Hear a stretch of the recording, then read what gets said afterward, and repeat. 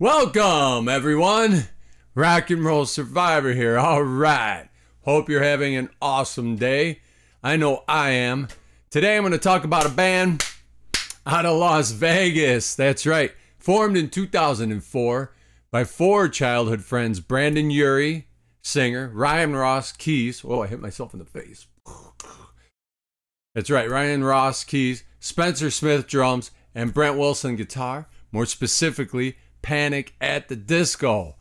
Right on, man. I know it's a little more modern of a band and music that I'm used to doing, but uh, these guys really grabbed my attention, especially with the song that I'm going to play here today, just because they're very melodic. Uh, they seem to have that old school vibe and feel in their music, you know, you know the old rock style. It's not uh, too modern and too computerized and that kind of stuff. You know, they play their instruments and they're really good musicians. So we're going to check out Panic at the Disco. The song is Mona Lisa. I think this is a really cool song with cool melodies. Um, these guys, uh, all good singers. Uh, the, the lead singer, Brendon Urie, especially, he's got almost like a crooner type voice, you know. So we're going to check this out Panic at the Disco Mona Lisa.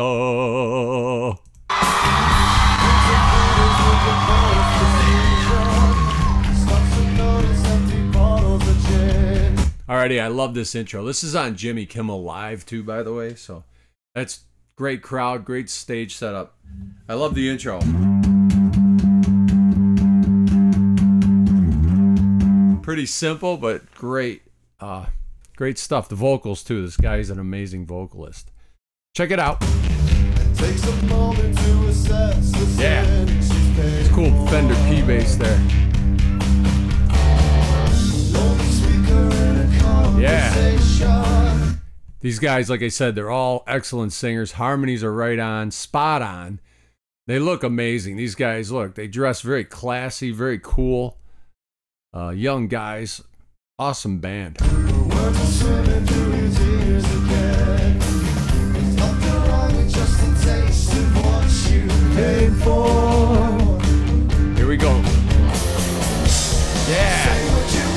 Love that when it ba ba ba and then the guitar kicks in. Heavy, man. Say this is great. I love to see young guys keeping the tradition of the hard rock feel in the music, you know, playing their instruments live and raw. It's killer.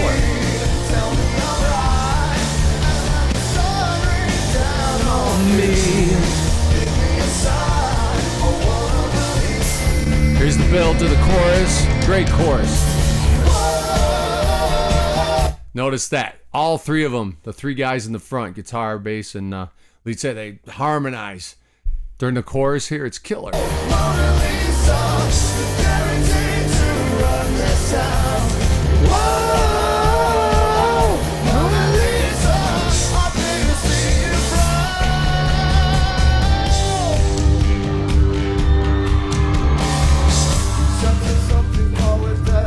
Great sound. I love the bass too. He's got that kind of dirty sound, you know.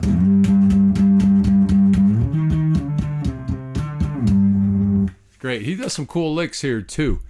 Um, this song it's about like a it was written about like personal struggles within and like a duality in nature, kind of like, you know, good person, bad person. Very cool uh you know, thought in this song.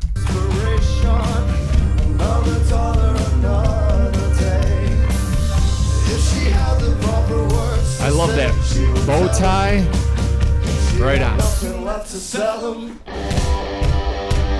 Yeah. Great guitar. I love that. He's got that telly or whatever that is. and he's just ripping. Love it. Love to see this. Love it.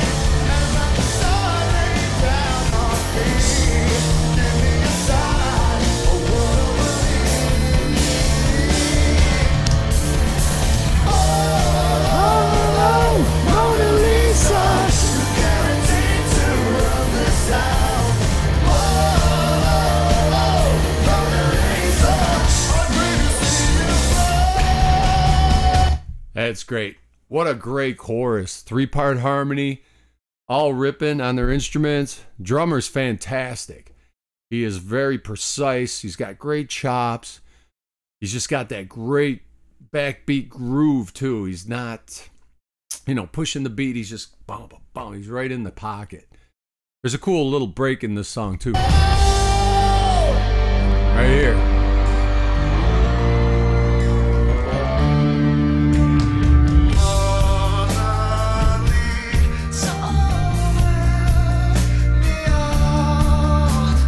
That's great. I mean, you know, uh, if you listen to some of their other stuff, early stuff, it's very Beatlesque. They had a lot of Beatles in them. Their harmonies, their vocals, and even the music. There's some really more Beatlesque songs that these guys wrote. I'm pretty sure they've broken up since the singer's kind of out on his own, I think, doing his own thing. Fact checkers check it. I don't know for sure, but I'm pretty sure I've seen him on his own doing some stuff.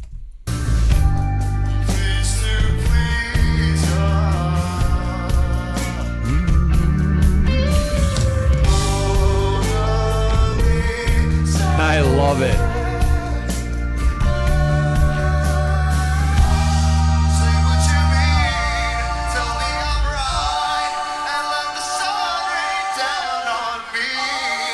Oh.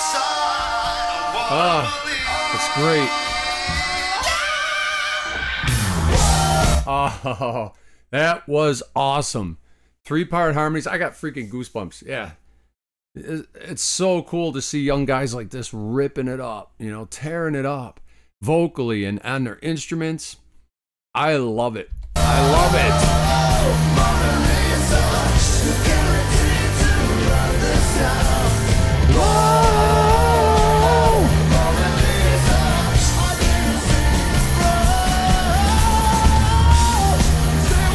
Yeah, Yeah, this guy takes off on the vocals right here. Killer. Crowds goes wild.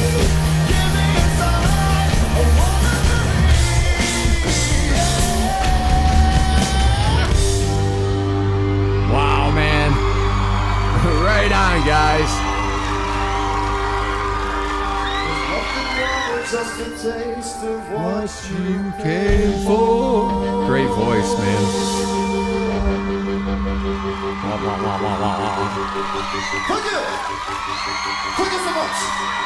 Oh, hell yeah. Yeah, yeah, yeah. That's what I'm talking about. Panic at the Disco. Man, if you don't know these guys very well, go check them out. They got a lot of great, amazing music. Uh, if you see, they're very uh, theatrical on stage. They great moves, great playing and performance. I love this band. Um, check out their early stuff. Like I said, very Beatlesque. They have a lot of cool harmonies and, and melodies, and the music just takes way different turns than you you'd expect. You know, not your average, uh, you know, songwriting for sure. So check out Panic at the Disco. right on. I'm Rock and Roll Survivor. I want to thank you all. Please like and subscribe. I want to get to a thousand subscribers, not because I'm trying to be a star or uh, make money. I could care less about that crap, to tell you the truth. I just want to see people uh, enjoying as much as I enjoy this music. And with the music, peace and love. Let's make this world an awesome place. Thank you, guys. It was awesome